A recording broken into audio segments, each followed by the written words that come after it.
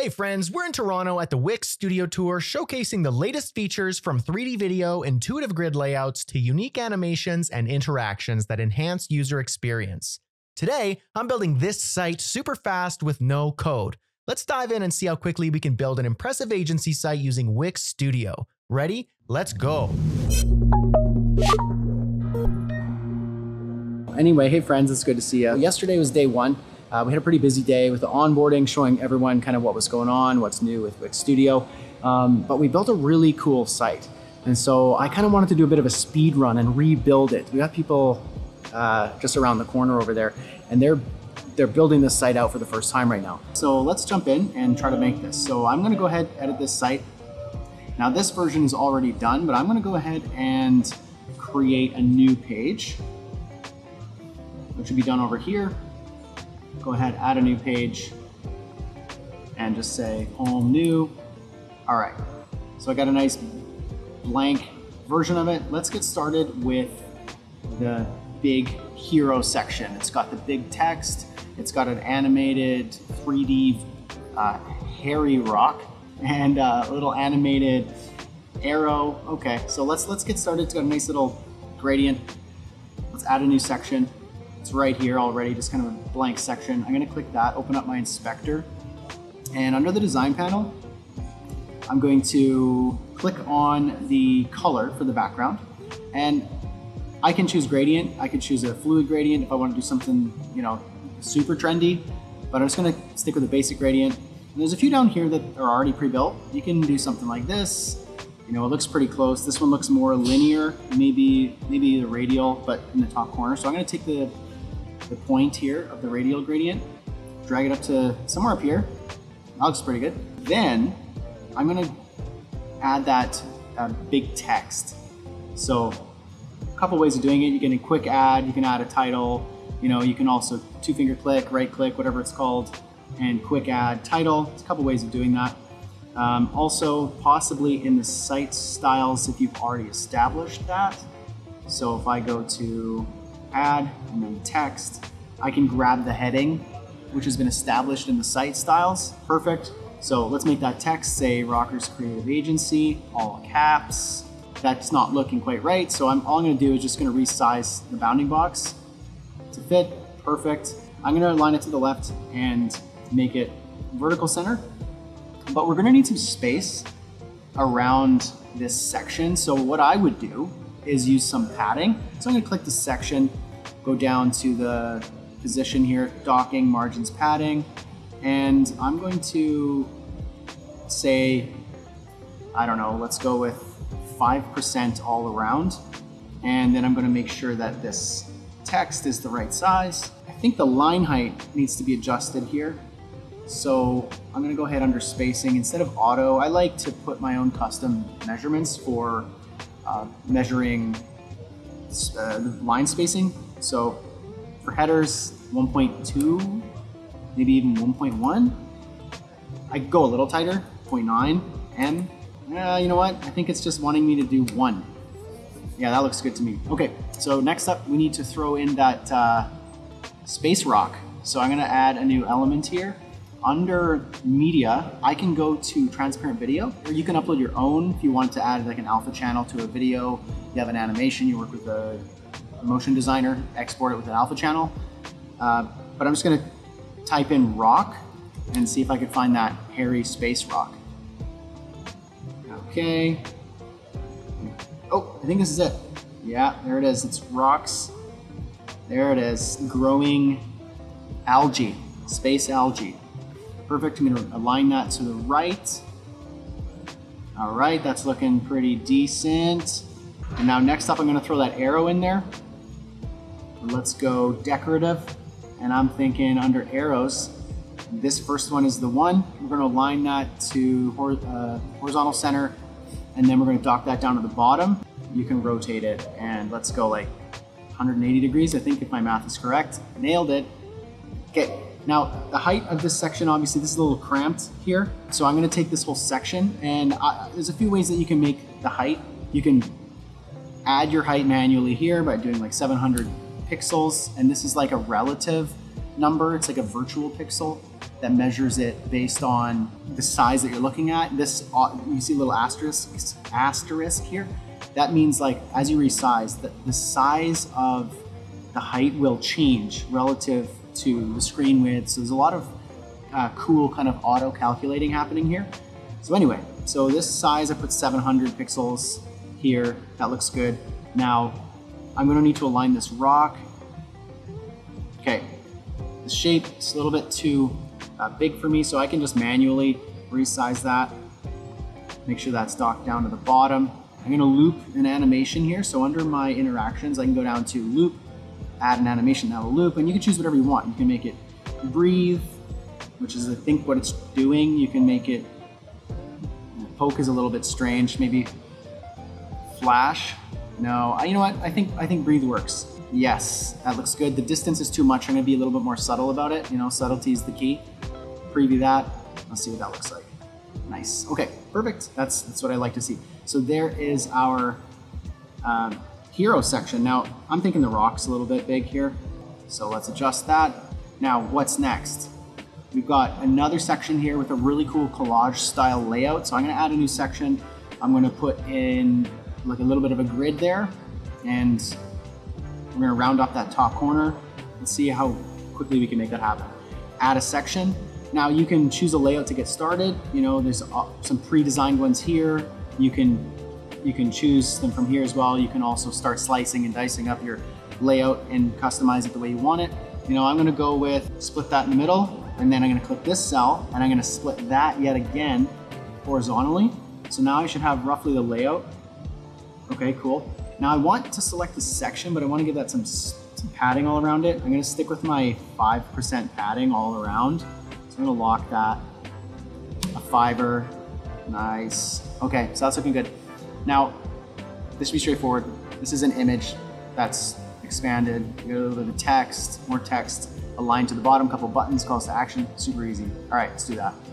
I think what I wanna do is, let's like, I'm gonna quick add an image. What I'm gonna do is I'm actually gonna create an AI image and see what happens. I love it.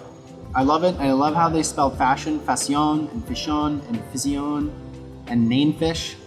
I love it. I love it, and I'm gonna change the ratio here to be uh, 16 by 9. I think I can move this around. This is so cool.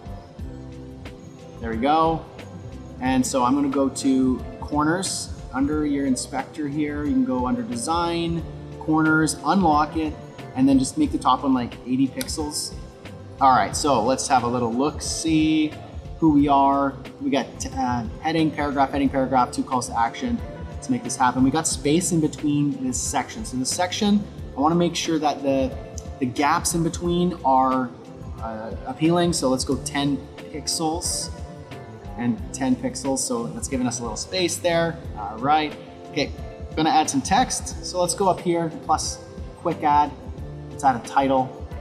I'm gonna take that title, just roughly drag it, you know, over here somewhere. Drag the width. You can manually type the width if you want. And let's throw in that heading and that paragraph. There it is. So now these are aligned nicely. Now this one's missing a button, two buttons. So we're gonna quick add a button, toss it in there, attach it to that stack. Beauty. Uh, the first button, I believe, was white. Second was a hairline, black background. So let's make that happen. First one's white. I'm gonna copy it and I'm gonna paste it. Now it should be in the same stack as the, the rest of it here. And I'm gonna select the two and I'm gonna stack those and then make it a horizontal stack. Nice. And then the spacing between 20 pixels uh, is, looks like it's a little more generous on there. So I'm gonna make that more like the space between these two are going to be 40 pixels. And now we've got ourselves our two calls to action, which are looking real nice. And so that's not too bad. Let's give it a little preview and see what we've got. Yeah, that's that's nice. Okay, so up next, what do we got? We've got a team section, and we've got a sticky kind of call to action there that sticks to that section at the top when you scroll down. So let's let's make that happen. So that to me looks like it's a section with a repeater. We're gonna add that in there, and then we're gonna quick add a repeater, just drag that right in. We're gonna manage this, add another item, four items, but we wanna make sure that repeater to be like the full, the full width. I'm gonna go and turn on advanced sizing here and go 100%. Now, the Wix Studio team, Little Birdie told me here, because I actually don't prefer switching to advanced sizing to do 100%. Um, for now, we have to, but uh, Yuval told me that um, soon you'll be able to just type in 100% on the width and it will automatically calculate that here. Um, and so I think that's pretty neat. So for now, advanced sizing, I'm gonna go 100%. I'm gonna make sure that that's aligned properly. So now with repeaters, you, you edit an item, all the items follow suit, okay? So um, what we're gonna do is we're gonna take this and we got headshot and some text. So how we'll do that is we'll quickly add an image, align that up nice, and make sure that it's fitting the right size. Okay, I'm gonna change the image. I just choose like media from Wix, Shutterstock, whatever it is you want. I'm gonna say headshot. And then we're gonna add some text. So let's dock that to the bottom. And then what we're gonna do is we're gonna add that cute little decorative shape. Actually, I think it was, I saw quick add. Shape, boom, throw that right there. We're just gonna manually resize that, something like this. And now, I'm gonna roughly tie these together. Shift select, I'm gonna stack those automatically horizontally, it knows. And then the space between, let's make that 10 pixels. Make sure they're nice and uh, the elements are aligned. We're gonna align those through the center. But we gotta take this section and we're gonna make it dark, probably black, okay? Which means a couple things here. We need to see this text. So that text is going to be white, and then I want these images to be taller. And now what you're gonna notice is that every se every second element, so the second and the fourth, and if I were to add four more, it'd be second, fourth, sixth, and eighth, are rounded. And this is a cool new feature in Wix Studio that we couldn't do in Editor X, so I'm excited about this. This was a frustrating part with Editor X, but you can do it now. It's very easy. You select the repeater, and then you can turn on set the A-B design pattern. So now a and B are your options for designing. So you can toggle between styles. So this is item A, this is item B, A, B, that's the pattern. So I'm gonna select B. So I want the B item to have a round corner all around. So I'm gonna take that item B and go to corners. I'm gonna round those 30 pixels all the way around. No, let's be more generous. Let's be like 80 pixels. Okay, and let's just make it a little taller. So here's what I'm gonna do. I'm gonna select the image. And then I'm gonna select the stack and I'm gonna stack these two. And now I can add some space between them and now they're related, so 30 pixels. That's better. That is better. And this image, I wanna make sure it's fully filling this out, so we're gonna make sure that that's 100%. And then finally, I think we need some heading and some text. Simple enough. I'm gonna quick add a title Let's throw a little paragraph over here too. This is looking good. Now, as you can see, there's more padding on the top, rather, there's more space on the bottom than the top. And that's because, you know, I have it manually sized like that. But what I'm gonna do is I'm just gonna drag this section up somewhere around here, and it's actually just gonna find where the bottom is, and it will it won't let me go and make these smaller. It's just gonna hug that content, it's gonna, and it's gonna look good. So that looks good to me. Let's throw in a section right here and I'm gonna resize the section to be like, you know, 100-ish pixels. Take this color, we're gonna gradient that, and we're gonna choose this gradient, modify it, throw in some, got a project in mind, say hi, a little icon, presumably to email. So it's sticky at the on the bottom the whole time until I get to this section. Now it's sticky on the top. Now, it hid behind there. I don't want that. That's a Z-index issue. Um, so we're gonna take that and just right click, arrange, bring that to the front. And now we're laughing. That's super cool. Okay, last thing that we got to do um, is one more section and then a little bit of animation here. So let's do that. All right, so this should be pretty straightforward. I'm gonna select an item here and then I'm going to go to my interactions and I can do a hover effect and let's just do move on hover. I'm not even gonna adjust it. I like that. So now it's as simple as when I hover over the items. Okay, last section. This is cool, new little feature. We're gonna add some text, but we're gonna use a text mask. So text mask is where you have text that's filled with an image or a video behind it. It's a really cool effect and we have access to that now. So let's just take like interactive experience, throw that right here. And we're gonna take this text, it's actual text. It's not like an image, it's actual text. Change the text.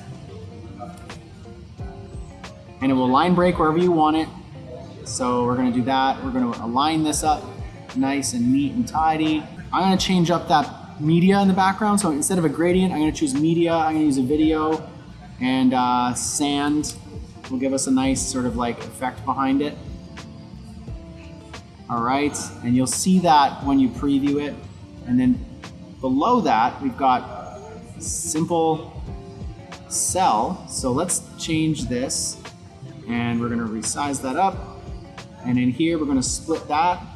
Perfect. So here we're gonna add an image. Let's do just magazine. This works fine.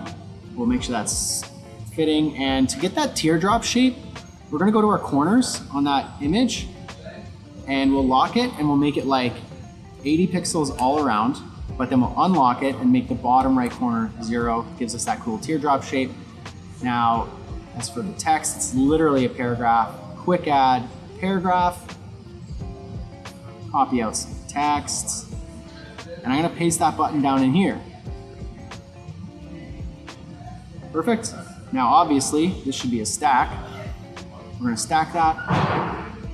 The space, gonna be 10 pixels. We're going to align the items. We're gonna dock that down to the bottom. Now we need some space between these cells. That's uh, pretty straightforward.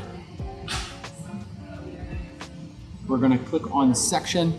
Now the gaps I want to be 30 pixels between. That's gonna give us that space that we need. That's gonna be aligned to the top actually, so let's align that up to the top, boom. And let's preview our masterpiece. Here it is.